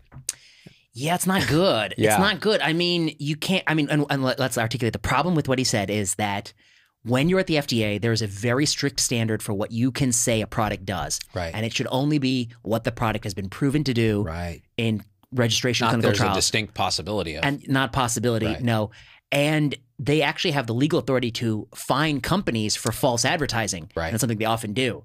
And here he is saying, I mean, what, the bivalent vaccine is just demonstrably false. There's no data on Earth. There's not even preliminary data on vaccine effectiveness, right. let alone data How on can long you COVID. talk about long COVID, It's which we all- hardly understand? right. Well, yeah, right. Hardly understand. Yeah. It's interesting how it works, that long COVID, Yeah. because you can get COVID. You don't even know you had COVID, but then you get the long COVID. And you know what? That's another. Seems like long COVID is another badge. Uh, hashtag long COVID. Oh, that's part of the Venn diagram. the, the Venn diagram of. Uh, COVID hit really hard the black and Hispanic communities, uh, uh, underprivileged communities. Long COVID goes straight to the suburbs. it goes straight to the middle-aged white woman. Goes to the golf clubs, the yoga studios, the suburbs. It's a bit odd. well, you know, I would. Uh, yeah, I'm not even going to touch that because that's a But bivalent vaccines have no evidence that they prevent long COVID. right. And that to me is that to me is the egregious act of of what he's saying. Got it. Got it. Speaking of long COVID, we can talk about this uh, professor. What's his name? at Wash U St. Louis. Mm. They're like publishing all these papers on long COVID, and they're like, you know, they're like, we looked at people who had mild long COVID. We looked at veterans who had a COVID diagnosis in the VA data set. Mm. And I was like, if you think a veteran who had to schlep to the hospital to get a COVID diagnosis had a mild case Yeah, of COVID, No, you're no. yeah, Yeah. I'm like, that's a sick vet. Yeah. because that vet ain't coming in unless he's really sick. Exactly. Yeah, Yeah. So there's all kinds of bias. Well, you know. So speaking. So uh, Ashish Jha yeah. recently quoted in the Guardian said, uh, "Yeah, you know, uh, I think this thing's pretty much, you know." If you've been vaccinated, you got immunity, all that. Like, just yeah, just let's just party like it's 2019. He said that. He yeah, said, "Let it rip." He literally said, "Let it rip." I mean, not this in that guy. way, I but he was yeah. basically saying, "Hey, it's, this is this is okay if you've if you've done the things." yeah, have you've done Meaning all? you've been alive. Yeah, right. You've You lived. already gotten COVID. You know, they, they talk one side, they're like, oh, COVID's no big deal. You walk it off. And the other side is like, it's a national It's a emergency national and we emergency. need, we need EUA authority. right. You know? Right. You can't have It- it it's really ways. yeah, and and you know your joke about long COVID is actually it really hits a nerve because Mm, Yes, it's it it's kind not- of like inaccurate. there is a kind of a Mm. it's so biopsychosocial to begin with, Mhm. and then it is it's like what are these demographics? Well, Like, where's the long COVID in sub-Saharan Africa? right. Where's the long Where's COVID the long in COVID in, the inner slums? inner city uh, United States? In Mumbai slum. In Mumbai slum, Find me a long. there should be long COVID everywhere Yeah, because they were be. all infected early on. The seroprevalence was through the roof. Dude, they're they're they're they're still like the happiest people on earth, even though they're super poor because they have community, they have connection, they have Well, isn't there something about wealth and happiness that it's ve- it, it plateaus very quickly once you have enough for your material needs? yeah. Seventy five thousand was the old study, is what they Mm. Now it's 30 million. Now it's thirty million. now it's until you're popping I'm not even happy. popping a blueberry every day with your CGM. You know what? I take that. I'm going to take that personally, and I'm going to take it angrily, and that little bit of anger is going to release cortisol and Uh-huh. epinephrine, which And- is going to raise my blood pressure. Raise your skinny fat. and I'm going to be skinny fat, and then I'm going to have a stroke, and then I am going to get elected over Dr. Oz. oh, yeah, then You know, you're going it's to run the against. causal chain of you're events. run against okay, this is just science. Okay, it's not even just science; it's the science. Yeah, it's the hashtag, the science. the Well, that's that's what I call that Venn diagram.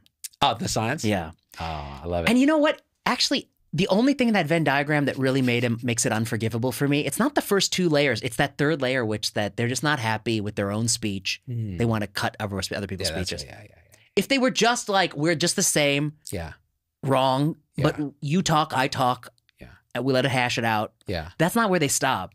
They have to. Their their whole platform is predicated on. It's not enough for me to make my show and say what I think. You can't make your show and say what you think. yeah. Exactly. Exactly. and that's crazy. it's nuts. And you know, especially a- when you're wrong. I when you're yeah, wrong. I mean, you're- now, now, okay, this is a good segue into something we were talking about before the show because we usually do a little psychotherapy on each other uh, right before we start. And you have you were you walked in complaining that you've been irritable and a little reactive and i was like oh tell me more because you know i've just come back from this meditation thing where i'm Yeah, watching my mind be irritable and reactive Enough about me. Enough yeah, about yeah. and, yeah, uh, and, and I thought, you know, we, we we hashed it out. We felt, you know, what it is.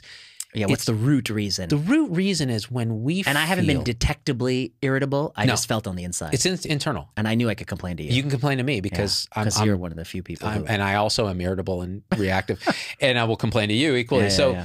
It, it was that when we feel like we're not seen for authentically who we are by somebody who ought to know better. Um, it's very frustrating and it creates a kind of a, a tension. And it's really about us. It's really about our own trying to desire to be authentic in the world and true to what we think we are. And when it isn't seen, it creates a kind of tension. And there's a consistency with you too. It's like the way you approach your professional life, like the inconsistency of the scientific population, can also go into meetings and can go into other things, but you'll Yeah, never show it. Well, it's all I try to I try to bury it. Yeah. I was just on a meeting where somebody was like, uh, you know, they talk about how they submitted a lot of complaints. I was like, well, I thought a lot of complaints, but I didn't submit any complaints because I knew that's not going to yield any result. Right. But I think what you're getting at is this, which is that, and this is my maybe my pet peeve, which is that um, lately I have been in many conversations where I feel like the person talking to me asked me questions in such a manner that I'm like, you really like like I, I mean I'm totally cool. You like you don't know anything about me. That's fine. But that's not how the conversation starts. Yeah. It starts with, I'm a big fan of your whatever. Yeah. I see all your stuff. See all your Right, stuff. yeah. That's how it starts. Yeah. But then it's quickly followed with, "Would you do? What do you think about?" And I'm like, "You know what I would think about? Yeah. Like, I mean, what, you, what kind of question is this?" Or, or talking to me about something that I'm just so not interested in. And uh, So they're not seeing you. They're well, not I seeing mean, who you are. and I guess Yeah. part of my objection is, well, then why did you strike up this conversation? What Right. is the pur- what is the Right, right, purpose? right. I guess that's Be- you know, because it's not like they're coming to you as a stranger No. in that way. They're coming to you saying, I know you. I love your stuff. I'm a fan of this. And this is the asymmetry of being known a little bit. Like I find this a lot. People Yeah. know me really well. They think they do, but I don't know who the hell they are. But the relationship assumption on their end is that I know who you are. And it I'll- becomes painful for I'll me. give a fake example, which is like they come up to me and they're feel bad. like, they're like, oh, you know, I love your, I love your stuff on plenary session. Hey, what do you think about Selinexor? I'm like, dude, I have 20 shows taking a shit on Yeah. Selinexor. Yeah. you know, so like, of course, this like, happens to me all the time. you know, but it's not. That's not what exactly what happened, but it's similar. yeah.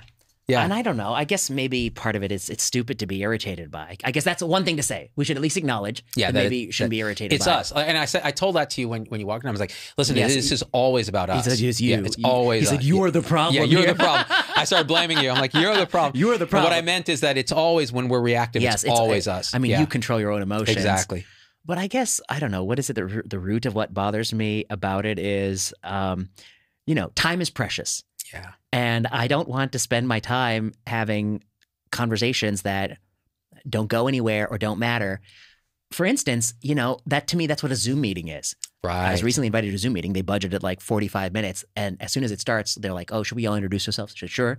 Do the introduction, just get the pleasure. And I was like, if you don't mind, can I go first? I said, I've been thinking about this issue. And here's my proposed resolution. And here's why it will make everyone happy. And I quickly offer that within the first 90 seconds, within the first four minutes, that there's hemming and hawing. The people debate alternatives to my solution. Then they quickly come to the conclusion that my solution is the solution. It is the only solution that keep, that maximizes everyone's happiness. And then they all agree to my solution. The meeting ends 30 minutes early. That is how life should be. That's how life should be. But when I'm in so many meetings, it's like 45 minutes. Let's brainstorm. Let's hear what people think. I'm like, oh my God. And you know what? You can tolerate that in your 20s and your early 30s before you're wise enough to know that time is limited It's limited. and it's your most precious thing. And With you your want skinny fat, there's not much time left. the clock is ticking, yeah. dude. With it gets to 155. Let's see what it is right now. Talking about skinny fat. Now I'm just curious because we got we just got to know because I'm dying. It's 102. okay. good. So you know we're Phew. good. Okay. Okay. Oh, let me see. My dad texted me. Oh, oh my gosh, Pick up milk on your way home. this is great. I got to read this. I went to Costco site on my desktop and it says your computer is infected with malware. Call Apple support and it gives the number. Uh, it's a bogus number. It's a scam. But how do I get off that page? It won't let me do anything on Costco. Poor dad. My dad, you know, and that's a legitimate question. Okay, I just I'm going to tell him right now. Yeah. Hold on, will call Close your. later. Close browser. Poor, Yeah. Poor. My poor dad. And, and and you know, he's actually he has been close to being scammed by stuff like this that looks really legit. And you know, the elderly get scammed. It's harder for elderly. It's very hard. And it's just heartbreaking to see when it happens because it's some fucker on a call center somewhere doing this and they know what they're doing. And it's just, you're like, wow, dude. Um, to me, the heartbreaking thing is like whenever you see somebody use a computer and you know that they're not really fast out with computers, you see this.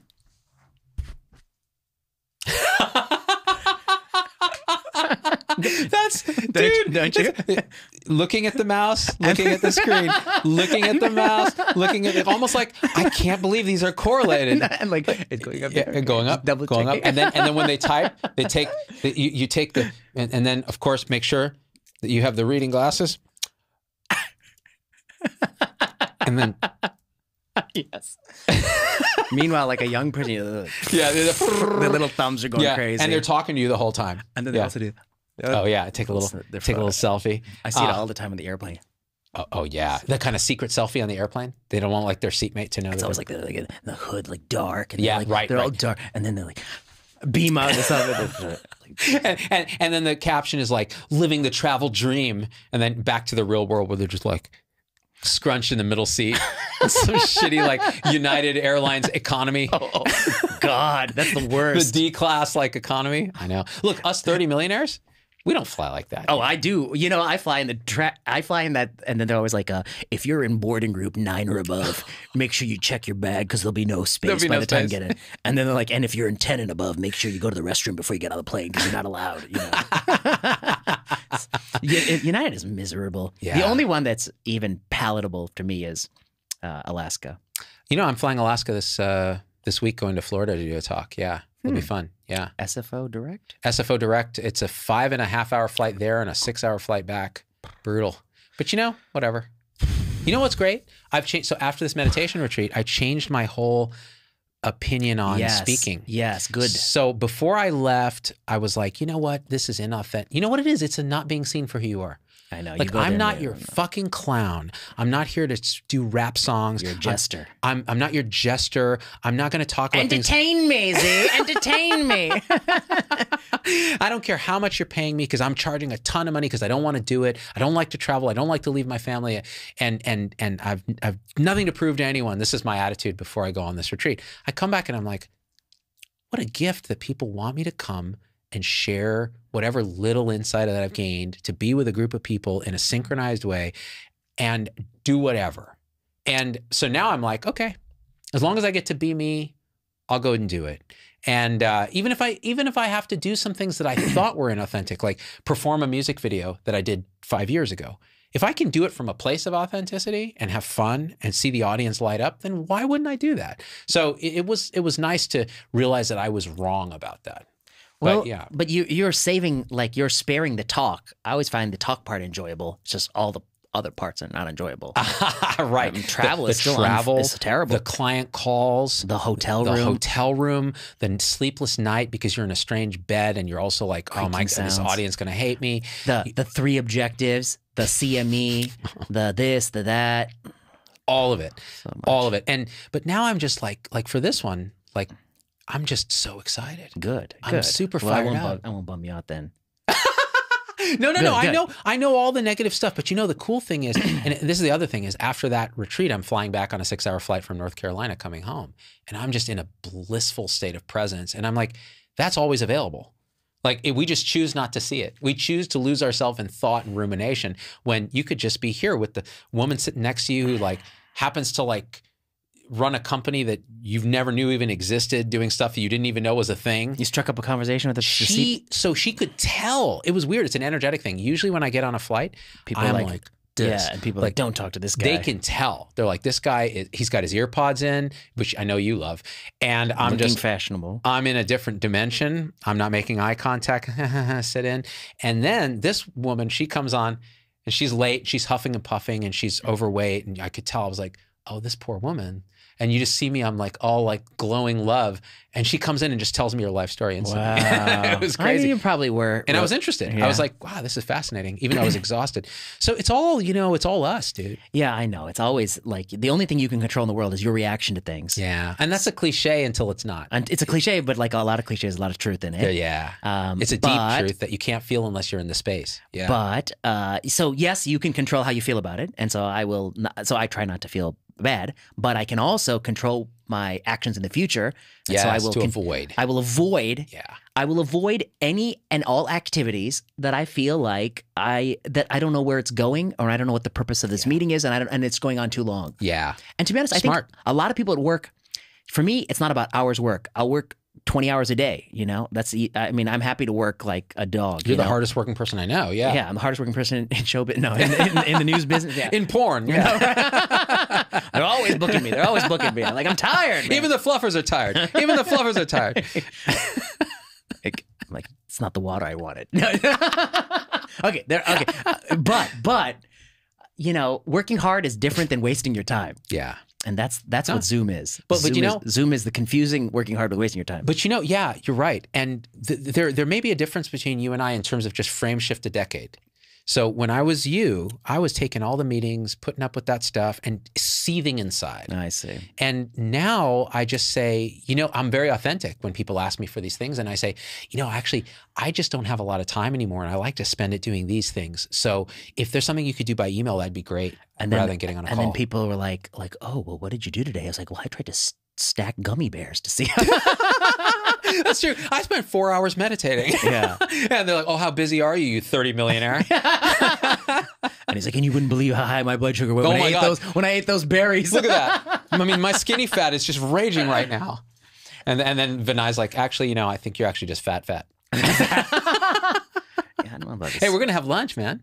yeah, let's do it. I'm Yeah. excited, Well, yeah. yeah. That's the that's I, I look forward to these things, man. You're my social, you're my social relief. like escape.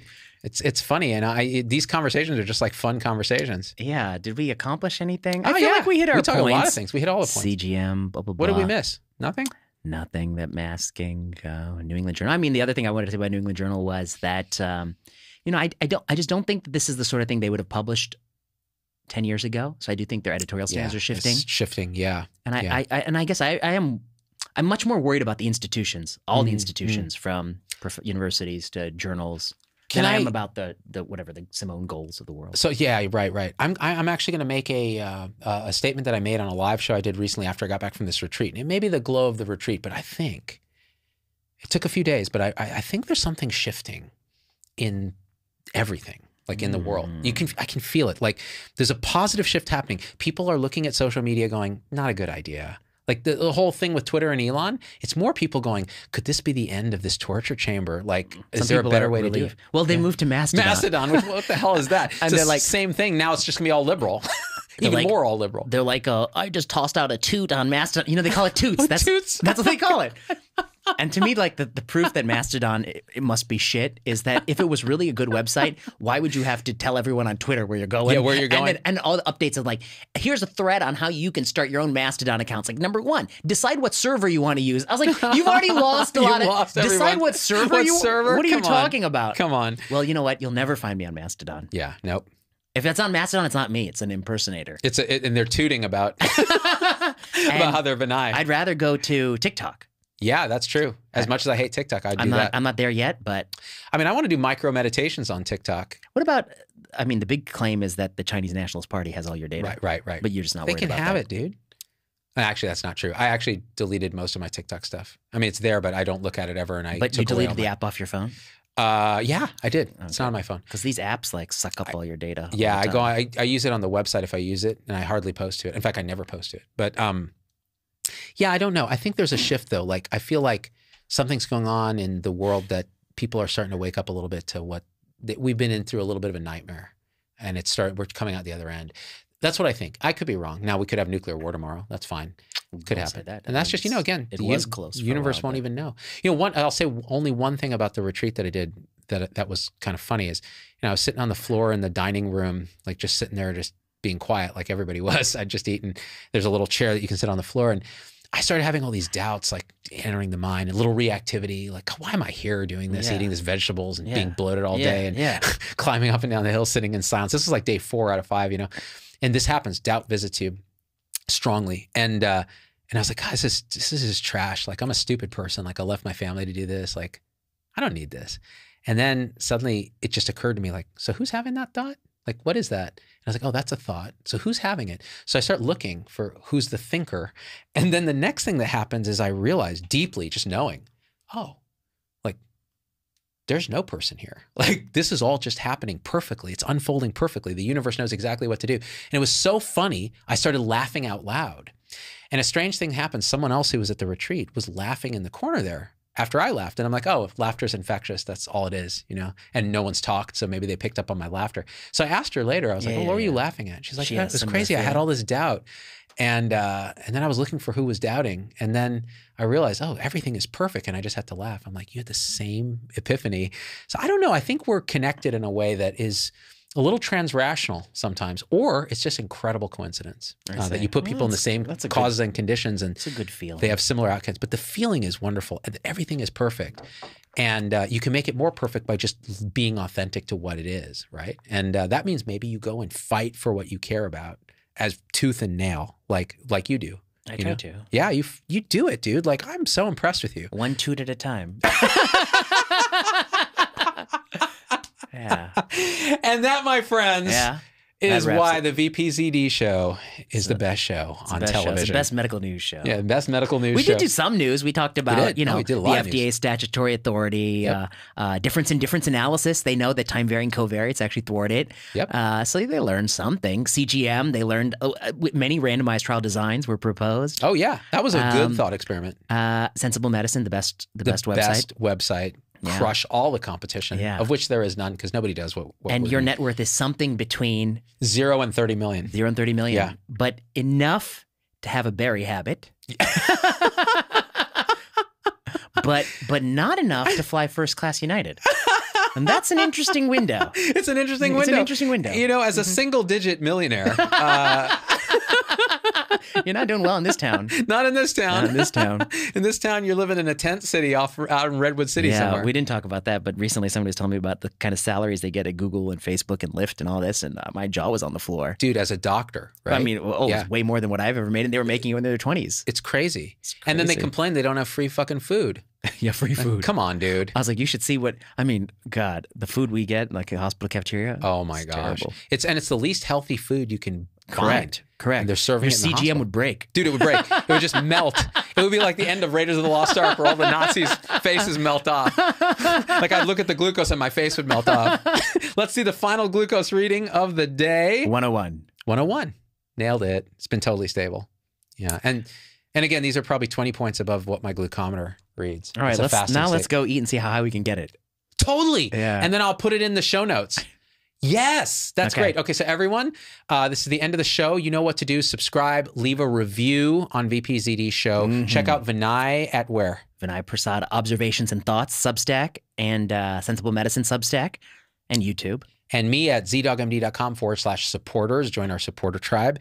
And uh, we may switch our podcast hosting platform and we, at some point, we may throw some ads on there just to pay for the bills here because we don't charge money for VPZD. But for now, it's free and easy for everyone.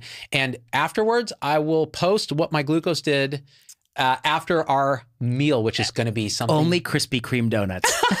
because if you don't eat the whole box, you're fat phobic. You know what? Lena Lena Wen said it best. Uh, you know. Oh, we didn't even talk about that. You know, she um, couldn't actually do that thing.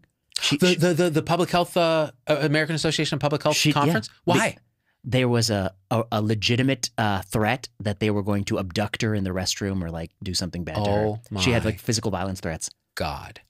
So this is when idiocy spills over. It's just like what happened to January 6th. That was Yes. a virtual bubble. And actually, like Lena is stuck between. I mean, obviously, uh, all the stuff she said about what they should do to the unvaccinated, I disagree with. Okay, so like Right, I'm, yeah. you know, I never. We've talked I- yeah, about we that. talked about that. yeah. But like, she has a huge group of people on one side that hate her for being uh, pro-vax, and she has a huge group of people on the other side that hate her for not wanting to mask a two year old for 22 more years. You know, I don't know. So she's got like she's getting from both ends, but she had to cancel because of like real death threats. That's um that's when this madness on social media. far. That's why I think the death of social media is coming. I don't know what will replace it, but it'll be something like what we're trying to do with Substack and so Yeah, on, and good. Sensible Medicine, a subscription well, then community. I'll cheer its death. Exactly. I'm cheering it too. I mean, I just took a shit on, you know, Facebook had the gall to like, I, I'm not even. Well, okay, okay, we'll talk- I'll talk yeah, about it it's a- lunch. I'll talk about All it at lunch. Yeah. So, okay. That all being said, I love you guys and We're out. we're out. Peace.